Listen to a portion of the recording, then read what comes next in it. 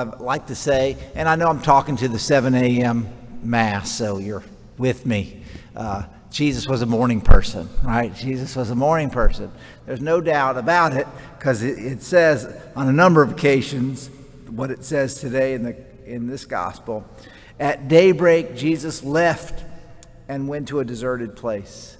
And so he was up early and off. And he often would get up early and go off and pray. And, uh, and you know, and I think that, uh, in fact, I know that, you know, spiritual masters throughout history, and I think even physiologists would say that your, your brain is kind of sharpest and uh, first thing in the morning, you know, as far as your interactions with God and the kind of peace. And so Jesus is up early, and, uh, and the people are looking for him. And I, I remember this is kind of a not so much of a theological lesson, but more of a kind of practical lesson in the sense that, uh, you know, they come to him and they say, Don't leave us, stay here. And what does he say? I got to go. I got to go. To the other towns also I must proclaim the good news of the kingdom of God. You know, so sometimes, you know, people may want us to do something, right? Give all your time and energy to this. But you may have to say, you know, I have to give some of my time and energy to that. I have to give some of my time and energy to the next thing. And so Jesus says, I have to go. I have other towns and places that I have to proclaim.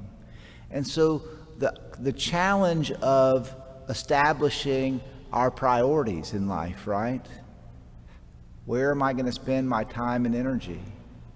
You know, who am I going to give that first hour of the day to, if you will? You know, are we going to give it to God or, you know, how do we use the great, you know, think about this. We often talk about tithing, right? You've heard that, right? Tithing. And, and then we hear about the, the areas of our life that we should tithe time, talent, and treasure and our time that we, we have to tithe our time to god. And we have to like think about what time do we give to god and how do we give that time to god. So i think those those lessons kind of percolate up for me in the gospel. And i want to point out that we have just begun this letter to the colossians uh, paul an apostle of christ. This is his standard greeting if you will. Paul an apostle of christ by the will of God, the will of God, and Timothy, our brother, to the holy ones, faithful brothers, sisters in Colossae.